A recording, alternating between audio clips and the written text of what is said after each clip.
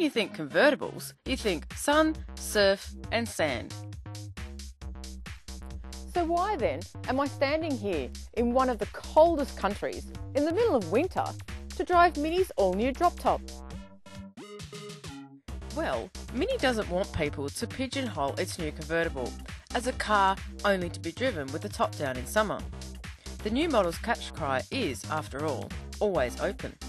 In fact, Mini has gone so far with the concept of wind in the hair motoring that the car maker has put in a roofometer.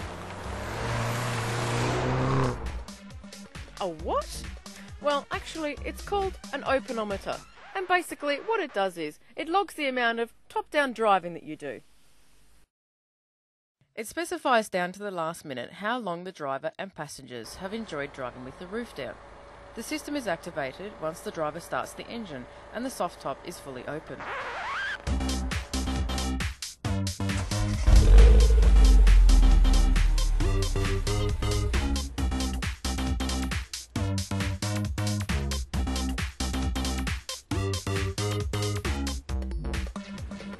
We're driving the turbocharged Cooper S models.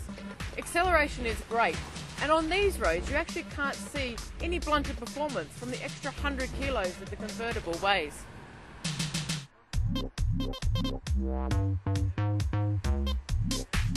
Okay, so they don't look that much different on the outside, but these new drop tops have a lot of changes under the skin.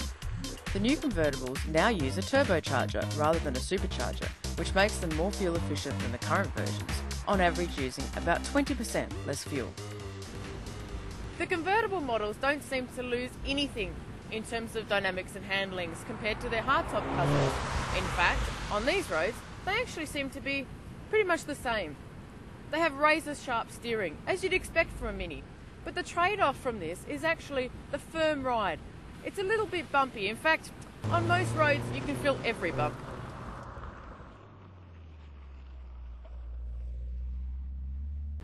One thing the current convertibles were prone to was scuttle shake. But these models seem to have improved that. In fact, on these roads, you don't seem to notice it at all, which is great.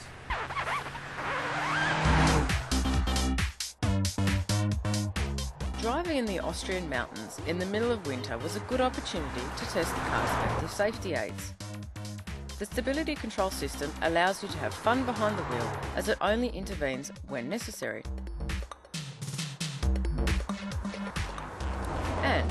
While it may have been minus degrees outside, even with the roof down, it was quite toasty inside, thanks to Mini's fancy heating system.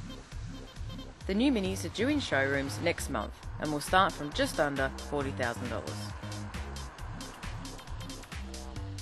The roof manometer is a great conversation starter, so I'm off now to go and clock up some more miles before we head home.